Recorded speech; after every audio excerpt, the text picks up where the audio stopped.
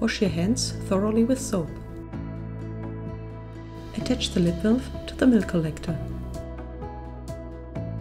Pay attention to the direction of installation.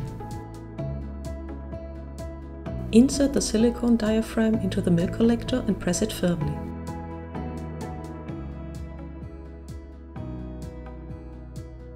Install the breast shell on the milk collector and align for the opening.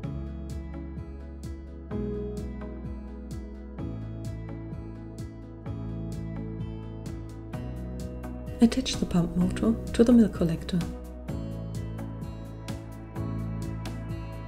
If necessary, adjust the size of the funnel using a breast gel insert or a different size of breast gel. Plug the charger into pump's USB-C charge port.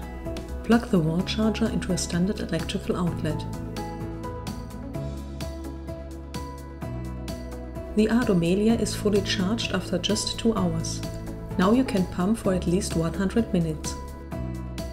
One bar flashing, the battery needs to be charged.